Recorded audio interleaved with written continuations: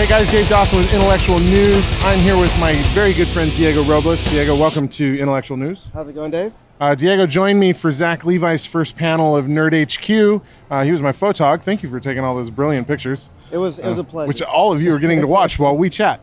Um, Zach opens every Nerd HQ uh, because this is his thing. Uh, him and the Nerd Machine have been been doing Nerd HQ now for five years. This is the fifth year. Zach opened up his panel by talking about how every panel at Nerd HQ benefits Operation Smile, uh, the charity that Nerd HQ supports, and to the tune of four thousand dollars per panel. There's a ton of panels here for the next four days. It's pretty amazing. Um, do you know what Operation Smile does, Diego? no, no. What is that? Uh, Operation Smile helps uh, children with uh, cleft palates and uh, facial deformities. Uh, they help them get corrective surgery so that they can, you know, live their life like normal children, and it's it's fantastic. It's a really really cool charity. Um, and Zach, I mean, he he's an amazing guy. Uh, during the panel, he talked about uh, capitalism. He believes in conscientious capitalism, that we can we can still buy things, but we can also still do good in the world. And I think this Nerd HQ is that's the epitome of what what he he, he talks about and he lives it.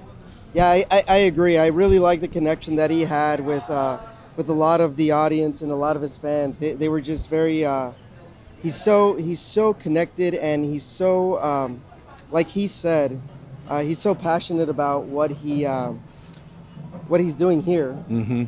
And, and it just shows Yeah. and it resonates in, in, in the way that the interviews went. He, he mentioned at one point that what he loves about the panels is when a panelist will come out and just really make the most of what a panel can be, and and, and it creates magical moments. And for me, in his panel this morning, when a young man uh, named Felix, little little boy, asked him a question, "How do you do your emotional stuff so good?" Yeah. And it was right after all the discussion about how Zach always needs boxes of Kleenex at these panels. And he's like, oh, Kleenex, I need Kleenex now. And, and, he, and he actually took the time to talk to this young man about acting in a, in a very real sense, how you connect to real events in your life and you try and draw the parallels between what your character is going through and, and what you're trying to convey on screen. And it was, it was cool to see him essentially teaching a young man what acting is. And, and he took the time and he didn't have to you know and i think that's amazing. It's really cool.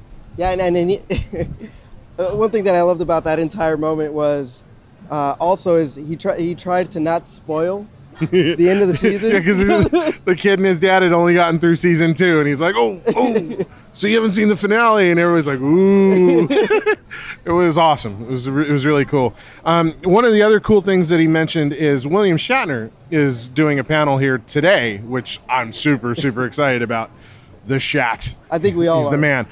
Apparently, William Shatner is doing Nerd HQ because somebody tweeted him on Twitter, Why aren't you doing a panel at Nerd HQ? and Zach's like, I imagine William Shatner's response was, What is Nerd HQ? but he's here and it's awesome. So we're going to get to see William Shatner later today. I'm so freaking excited. Captain Kirk.